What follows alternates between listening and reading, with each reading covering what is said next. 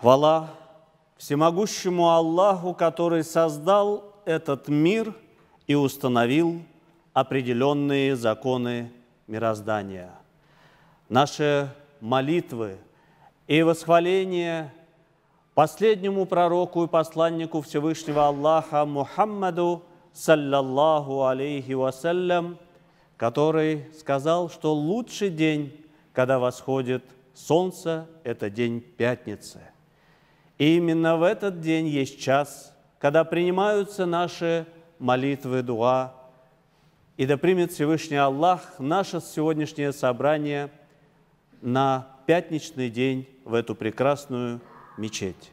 Дорогие мои братья и сестры, единоверцы, в первую очередь позвольте поприветствовать вас и передать самые теплые приветствия нашего духовного лидера, председателя Совета муфтиев России и Духовного управления мусульман Российской Федерации, муфтия шейха Равиля Гайнуддина с нашим братским приветствием ислама.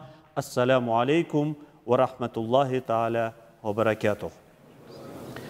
И сегодня, по милости Всевышнего Аллаха, по приглашению моего дорогого брата, друга Айнура Хазрата, муфтия Республики Башкортостан, сегодня я перед вами хотел прочитать пятничную проповедь. Я искренне благодарю за предоставленную возможность сегодня вместе с вами разделить этот богоугодный праведный час, когда Всевышний Аллах, иншаллах, нас собирает в этом месте, в лучшем из мест, в мечети, где мы совершаем земной поклон.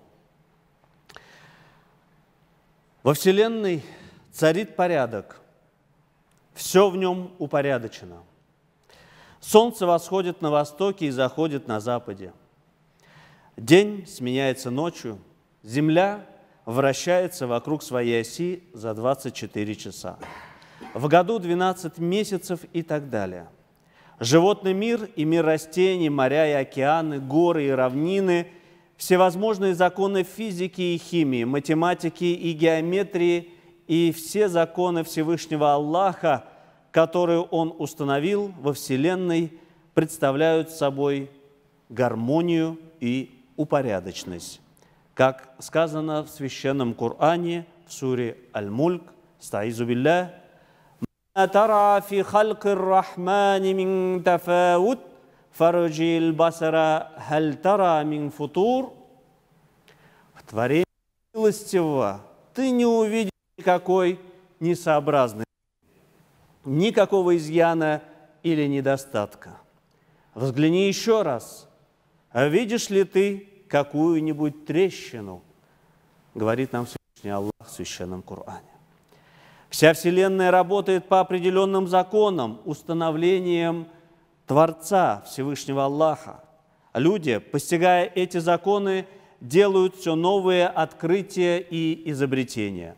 Только вдумайтесь, сто лет назад не все люди знали про электричество, 70 лет назад телевизор казался чудом, 30 лет назад появились первые мобильные телефоны – а сегодня мы разговариваем по видеосвязи с человеком, который может находиться на другом конце света за тысячи километров от нас. Те общества, которые вкладываются сегодня в науку, в образование, в технологии, непременно прогрессируют, развиваются. Так было и с мусульманами в золотой век исламской цивилизации, когда были сделаны тысячи открытий в математике, геометрии, физике, химии, астрономии, философии, написаны тысячи трудов по самым разным наукам, изобретены самые передовые технологии своего времени. Но, к сожалению, этот созидательный импульс первых поколений мусульман был утерян – и сегодня важно понимать, что для развития отдельного человека, общества и даже целой цивилизации Всевышним также установлены определенные законы. В Священном Коране Эти законы названы как суннатуллах, установление Аллаха. Если мы хотим изменить свою жизнь к лучшему, вернуть былую величие нашей уммы, мы должны знать эти установления Аллаха и применять их в жизни, дорогие мои единоверцы. Эти законы неизменны и действуют для каждого человека, народа и цивилизации, независимо от того, верующие они или неверующие. Ибо Аллах в Священном Коране нам говорит, «Аузу шайтанир раджим», سنة الله التي قد خلت من قبل ولن تجد لسنة الله تبديلا صدق الله العظيم Таково установление Аллаха, которое уже свершалось ранее, и ты не найдешь замены установлению Аллаха, говорится в суре Аль-Фатх. Каковы же эти установления Аллаха, утвержденные в его заключительном послании человечеству, священном Коране? И сегодня, инша Аллах, мы рассмотрим некоторые из этих сун Аллаха, попытаемся понять их суть, а также то, как можно и нужно применять их на практике в нашей повседневной с вами жизни. Одно из важнейших установлений Всевышнего Аллаха, его великих сун, закон о том, что он не меняет положение людей просто так от того, что люди этого захотели. Ибо в Коране, я думаю, все вы знаете этот аят, который мы постоянно вам напоминаем. Аузу билляхи мина шайтани раджим. «Э инна Аллаха ла югайиру ма би каумин, хатта югайиру ма би анфусихим. Садак Аллаху лазим. Воистину, Аллах не меняет положение людей, пока они не изменят себя самих.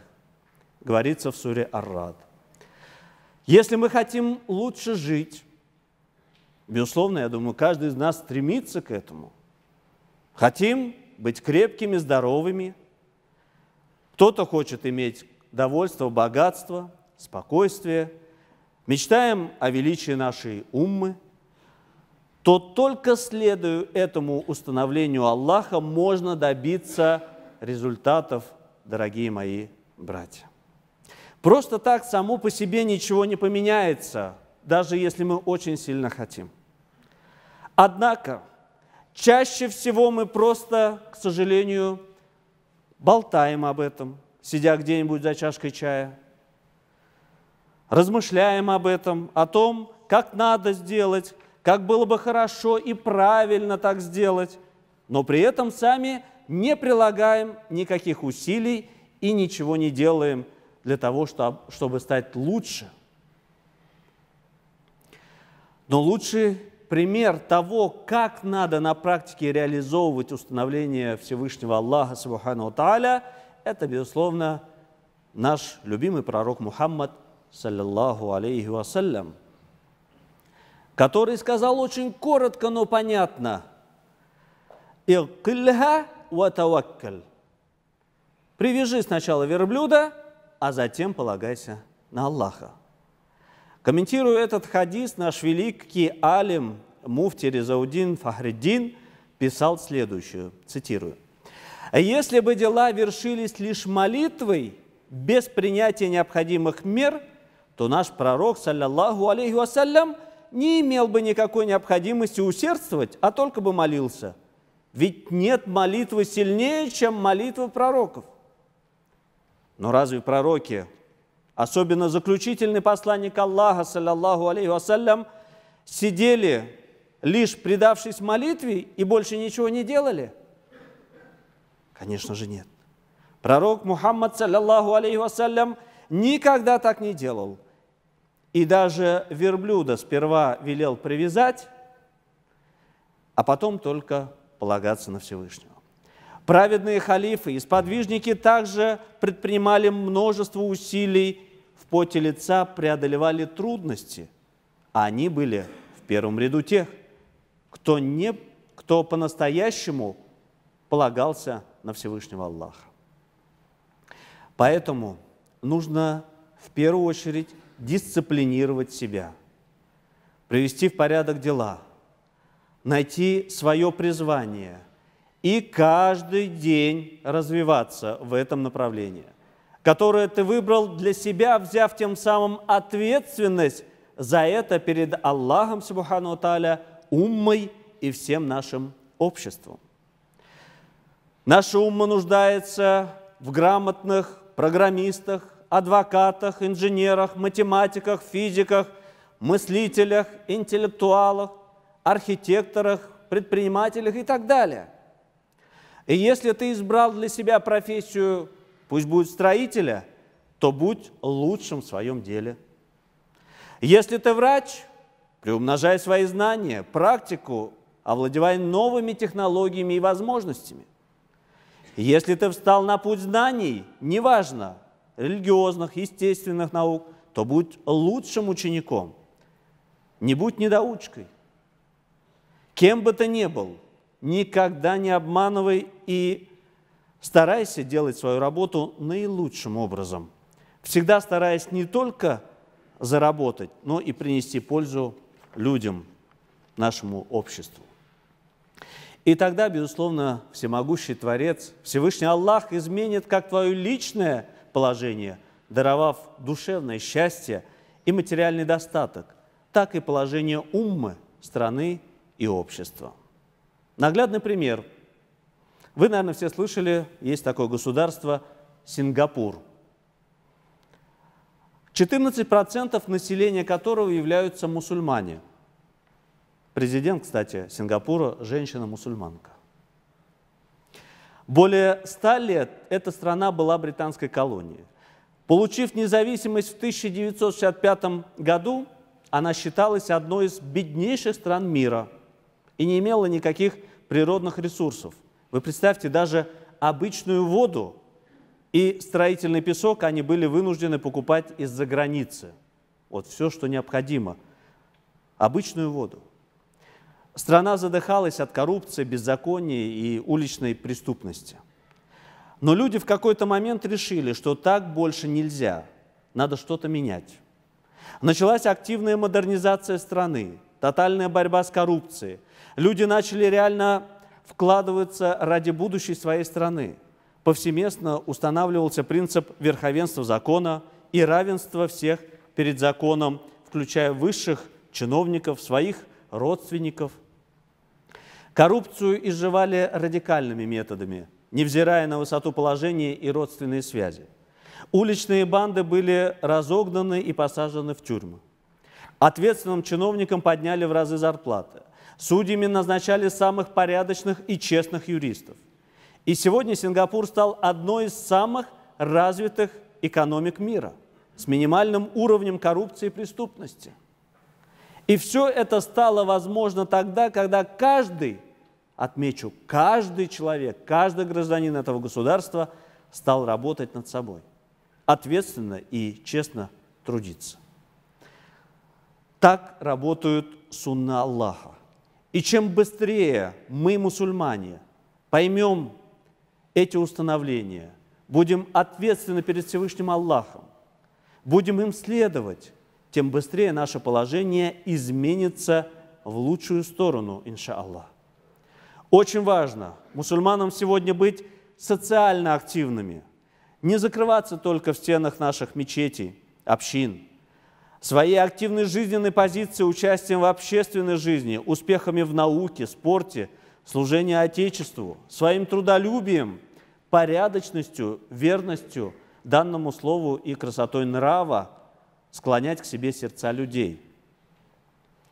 Это очень важно, дорогие мои единоверцы, показывать красоту ислама своим личным поведением. Поверьте, это лучшая проповедь. Еще одна важнейшая сунна Всевышнего, особенно актуальна для нашей общины в настоящее время, это, конечно же, единство наше. В суре Аль-Анфаль, в 46 аяте, Всевышний Аллах повелел нам следующее. Аузу билляхи мин шайтанир раджим. وَأَطِيعُوا اللَّهَ وَرَسُولَهُ وَلَا تَنَازَعُوا فَتَفْشَلُوا وَتَذْهَبَ رِيحُكُمْ Повинуйтесь Аллаху и Его посланнику и не припирайтесь, а не то вы пойдете духом и лишитесь сил. Не припирайтесь, не разделяйтесь, оставьте свои личные интересы позади, а вперед поставьте интересы уммы, интересы мусульман. Даже если вы имеете собственное воззрение на какой-либо вопрос, умейте уважать точку зрения другого. И не делайте это причиной вашего разрыва с другими людьми. Не провоцируйте раздоры и фитну. В татаро-башкирском языке такой фольклор, поговорка «Айрылганны аю ашар, бүленгенне бюре ашар». Это, в принципе, показывает характер, что мы ни в коем случае не должны разделяться и ни в коем мере не стараться провоцировать смутные конфликты. Это очень актуально для нас сегодня, дорогие мои единоверцы. Столько течений, столько джамаатов, у каждого свои признанные шейхи, устазы. Одним это нравится, другим те нравятся. Эти руки так держат, это не так держат и так далее. И все это – это не просто, к сожалению, в последнее время стало очень много споров на эту тему, но, как мы уже отметили, все это просто бесполезно, но и катастрофически вредноносно для нашей уммы. Мы начинаем зацикливаться на этих мелочах, и потом начинаются ссоры и конфликты. Как много людей отворачиваются от ислама, видя эти ссоры и разногласия – как теряют авторитет и уважение в глазах власти многочисленные разрозненные наши общины. Это суннатуллах, установление Аллаха на земле, о чем мы сегодня говорим. Если нет единства, если постоянное препирательство, если нет признанного лидера, то у общества не будет единого духа, и его постигнет слабость и болезнь. Не случайно, что в конце процитированного аята Всевышний Аллах говорит, «Стаизубилля, уасбиру инналлаха массабирин». Будьте терпеливы, ибо Аллах с терпеливыми. Поэтому очень важно уметь с терпением относиться к точке зрения другого, терпеть тех, кто по каким-то причинам тебе не нравится, особенно в делах нашей мусульманской общины. Только на основе терпеливого отношения друг к другу – к нашим уважаемым имамам и муфти. Мы сможем вместе снискать довольство и помощь Всевышнего Аллаха и добьемся уважения других к умме и ее процветанию. Ярким примером силы единства может служить история наших соотечественников, оказавшихся после революции в Японии. Отбросив в сторону все мировоззренческие и политические разногласия – они сплотились вокруг единой цели – служения религии. И за несколько лет добились колоссальных результатов. Ислам был признан правительством тогда очень закрытой многоконфессиональной страны. А в Токио в 1936 году нашими соотечественниками, выходцами с наших земель, в Токио, в Японии, была построена первая красивейшая мечеть с минаретом – и после ее официального открытия ислам стал признанной официальной религией Японии. И так далее. И это можно продолжать. Сегодня на самом деле очень много таких ярких примеров, когда наши с вами соотечественники для того, чтобы не терять свою самоидентичность, религию, нацию, они сплачивались и делали такие важные поступки, как строительство новых мечетей и по всему миру. И хотел бы привести яркий пример нашего посланника Мухаммада, саллиллаху алейхи вассалям, и из истории первых мусульман. В восьмом года хиджры, это уже после того, как пророк, саллиллаху алейхи вассалям, переселился из Мекки в Медину – прошло 8 лет, мекканские многобожники, как мы знаем, нарушили худайбийское примирение с мусульманами, оказав помощь против союзного с мусульманами племени. Посланник Аллаха предложил курайшитам либо выплатить возмещение за убитых из племени хузаитов и расторгнуть союз с враждебным племенем, либо справедливость будет восстановлена походом мусульман на Мекку. Курайшиты отказались выплатить компенсацию за убитых их семьям. Тогда пророк, саллиллаху алейhi собрал своих верных сподвижников и двинулся в путь на Мекку. В армии посланника тогда было 10 тысяч человек и состояла из представителей разных племен. Это были люди, беспрекословно подчинявшиеся Всевышнему и его посланнику. В их среде царила атмосфера взаимной любви друг к другу во имя веры и единства Духа – Рядом с пророком находились полностью закованные в доспехи ансары и мухаджиры. Увидевший этот отряд, один из главарей многобожников Мекки, Абу Суфьян, он уже тогда принявший на этот момент ислам, воскликнул, «Никому не одолеть этих воинов». На подступах к Мекке пророк назначил командиров отряда воинов Халида ибн Анвалида, Азубейра, Саада ибн Убаду и приказал им не сражаться, если только с ними не начнут сражаться. То есть они должны были только защищаться, но не нападать первыми. Перед тем, как мусульманское войско вошло в Мекку, был объявлен комендантский час, чтобы избежать столкновений и жертв. Каждый, кто не будет выходить на улицу, а укроется у себя дома, либо в доме у Абу Суфьяна, либо внутри Кабы, будет в безопасности. Мусульмане вошли в Мекку с четырех сторон и почти не встретили никакого сопротивления.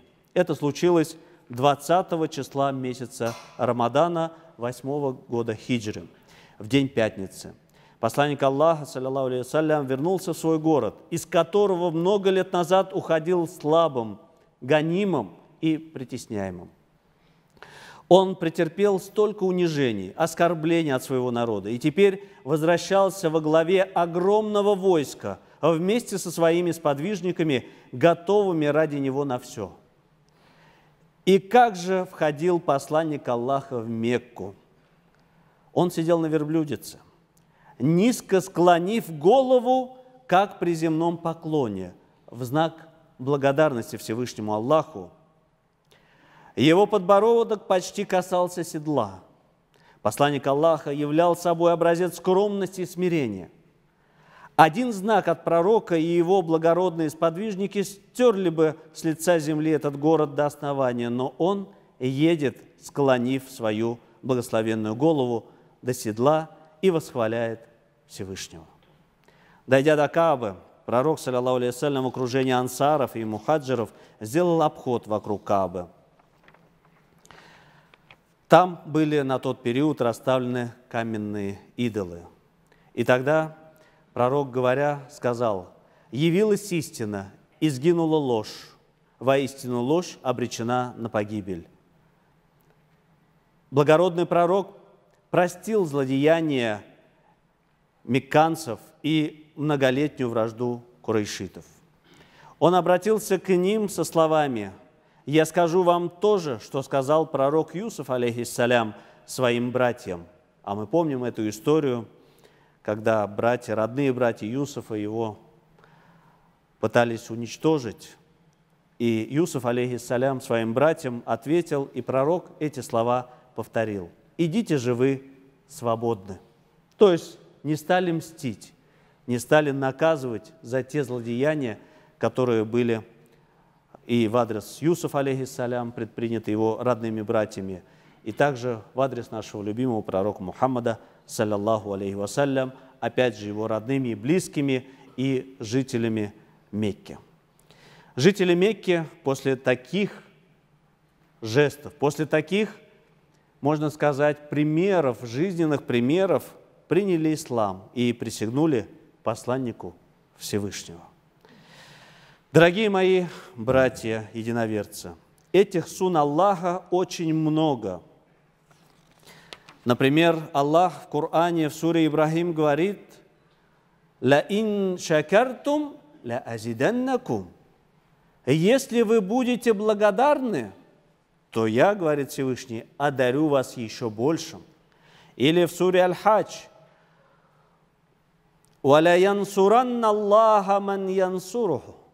Аллах непременно помогает тому, кто помогает ему.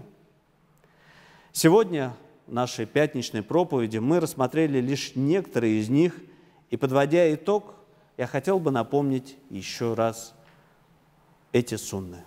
Первое. Аллах не меняет положение людей, пока они не изменят самих себя. Просто так ситуация не поменяется. Необходимо улучшать свои отношения с Аллахом, работать над собой, стараться стать лучшим в своем деле, быть социально активным, не ограничиваться лишь посещением мечети только лишь по пятничным дням, ибо красота нашей религии, ислама, должна проявляться в нашей каждодневной созидательной деятельности дома, на улице, на работе. Мы должны ежедневно показывать ислам своим поведением, своими делами, своими словами.